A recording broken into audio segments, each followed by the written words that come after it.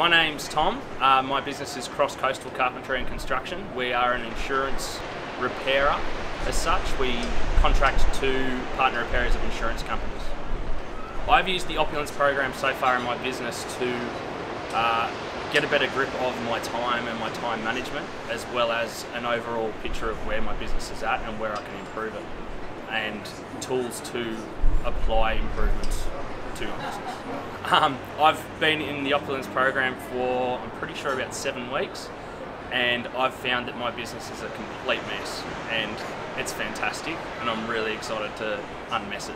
What it means to me to be part of the Game Changers is having a community and a team for support and being able to ask a vulnerable question and get honest feedback and help.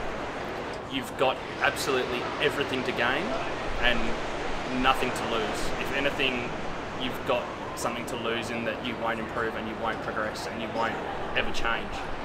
And that's a bigger risk than taking a step towards another risk.